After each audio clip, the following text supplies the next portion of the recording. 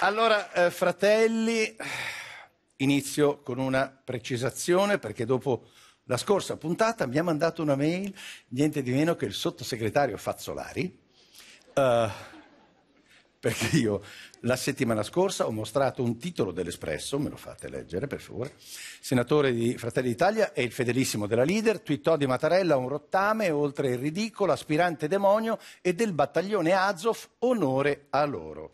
Allora, riguardo al titolo del battaglione Azov, il tweet originale era questo.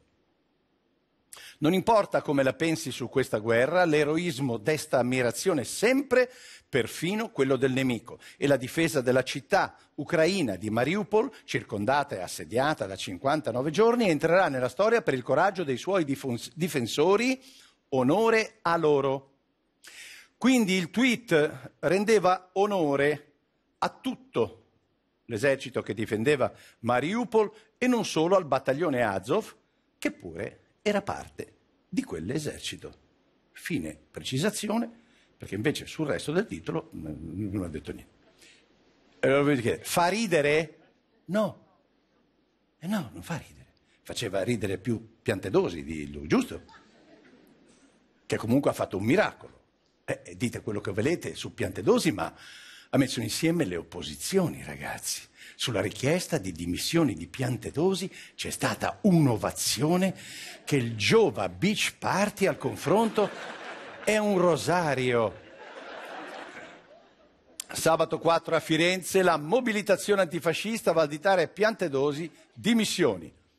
Per la sinistra, della, per la rinascita della sinistra, ha fatto più Piantedosi in due mesi che D'Alema in trent'anni.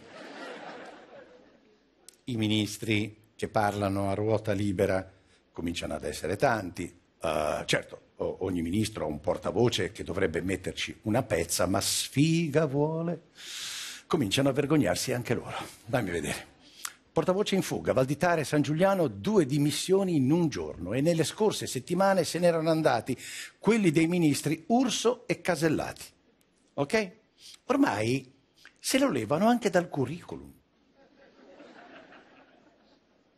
Lei ha lavorato per il ministro Valditara? Elettrauto Valditara, era l'elettrauto. Scusi, era, eravamo sulla Nomentana, io me lo ricordo.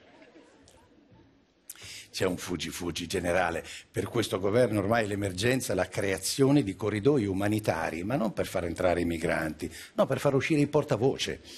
Ora io mi metto nei panni del portavoce di questo qui. Migranti, Lollobrigida, lavoriamo per farne entrare quasi 500.000 legali. Lui è il ministro all'agricoltura, nonché cognato della Meloni. Lollobrigida non aveva nemmeno finito di dirlo che è stato subito smentito da Moulet. Guardate da Floris l'altra sera come lo stronca immediatamente. Giorgio Moulet, di Forza Italia, vicepresidente della Camera. Fammelo vedere. Noi solo quest'anno lavoreremo per far entrare legalmente quasi 500.000 immigrati legali. E allora? E allora ha sbagliato, ha sbagliato un numero. Eh, ha sbagliato. Ha sbagliato un numero, si è confuso, capita.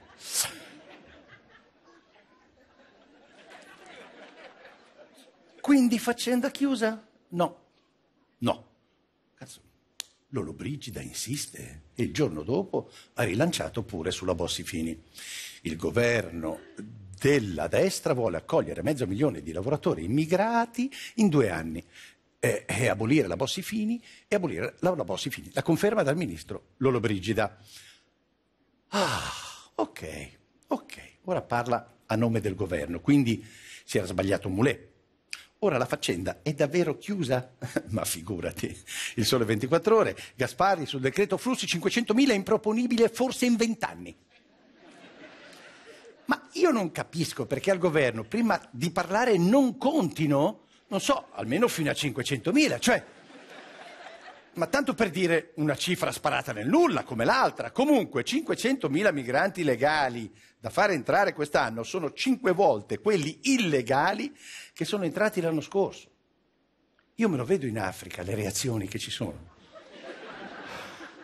Oddio, ma noi, noi non ce l'abbiamo tutta sta gente da mandarvi. Cioè,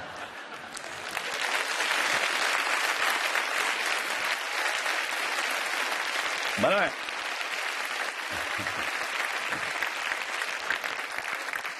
Cioè, è paradossale, no? Cioè, sono anni che Meloni e Salvini dicono che bisogna chiudere i porti e fare il blocco navale e poi bello bello arriva Lollobrigida, pure parente, e dice il contrario. Minchia, ma questo è alto tradimento. Ora io mi aspetto che la Meloni chieda le sue dimissioni, almeno da cognato. Comunque, Schlein, ti stanno spianando la strada. Belli che grande che è la Schlein. Ha stravinto su Bonaccini, eh, sorprendendo tutti, no? E me per primo, ragazzi, diciamocelo, me per primo. Anche perché oggettivamente io fino a un po' di tempo fa non è che la conoscessi benissimo io la Schlein. La Schlein. Io sono un comico, del PD conosco la formazione dei titolari, di quelli che scendono in campo. Ma il terzo portiere, ca- cazzo, le riserve in panca, io le conosco un po' meno, no? Cioè, ma... No, ma... Ma ci sta, io sono il re dei cretini, no? Quello che mi stupisce invece è che se sei un filosofo che da 30 anni pontifica sulla sinistra, ecco, tipo Massimo Cacciari, e non puoi a carta bianca dalla Berlinguer martedì scorso uscirtene così. Vi sareste mai sognati nella vostra vita precedente che uno diventava segretario di un partito due mesi dopo essere stato iscritto? Eh? Come due mesi dopo essere stato iscritto? Cacciari, scusami, tu leggerai Hegel, ma io, da cretino, quale sono? Leggo Google. E guarda cosa ho scoperto. Dunque, Ellie Schlein entra nel PD nel 2012 nel 2013 è già nella direzione nazionale. Poi fonda Occupy PD per cercare di rinnovare un partito che con Renzi limonava col liberismo. Nel 2014 diventa parlamentare europea del PD, nel 2015 per protesta contro il Jobs Act di Renzi, che limonava col liberismo, straccia la tessera. Nel 2020, insieme alle Sardine, aiuta Bonaccini a vincere in Emilia, viene eletta in regione e diventa sua vice. Nel 2022 diventa deputata nelle liste del PD, poi si iscrive di nuovo, si candida e vince le primarie. Tutto questo in dieci anni senza nemmeno tatuarsi le sopracciglia. Olè! Silvano Belfiore Band. Ora, a me stupisce che Cacciari, un filosofo di sinistra che si occupa da 30 anni della sinistra e che sono 20 anni che lo vediamo una sera sì, una sera no dalla Gruber cagare il cazzo alla sinistra.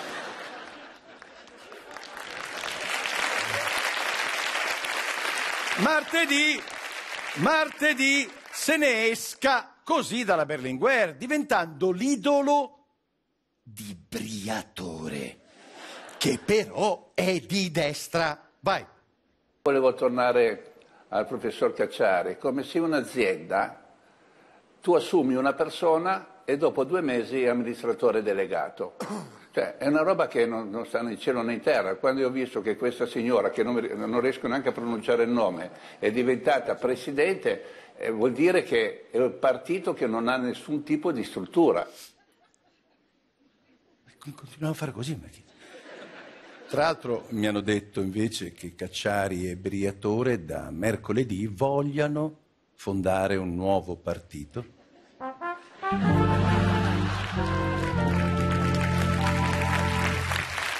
Il Twiga Proletaire! Ai, ai, ai. E comunque una cosa è certa, alle prossime elezioni sarà donna contro donna. Wow, wow, wow, wow, wow. È un bel derby, un bel derby. Tra l'altro, fateci caso, quella ricca e borghese è di sinistra, invece quella borgatara proletaria è di destra. No, vabbè. No, ma una cazzata, non vuol dire niente, vi spiego perché, lo sapete bene, no? Cioè, eh, la mia è un'osservazione veramente da stolto, perché poi in realtà le rivoluzioni le ha fatte sempre la borghesia, no? Marx era di un'agiata famiglia di origine ebraica, ma anche lo stesso Enrico Berlinguer era di famiglia nobile sarda. Infatti lo slogan dei comunisti era avanti popo a riscossa, viva la rivoluzione sinistra, Eli Schlein, sei dei nostri. Scherzo. È tosta la Schlein, eh?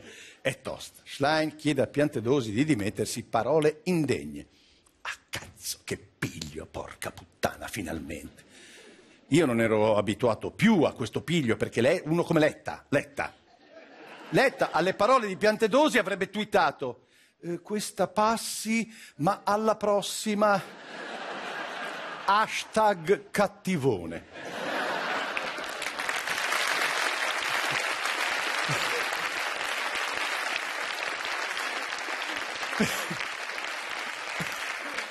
Però ragazzi, credetemi, con la Schlein è stato non carino, di più. L'altro giorno c'è stato il passaggio di consegne lui eh, le ha fatto un regalo sentito, un- una cosa importante, bella, eh, un melograno in ceramica, come simbolo di... Come... Cioè, sì, il melograno è un... è- il melograno è un simbolo di...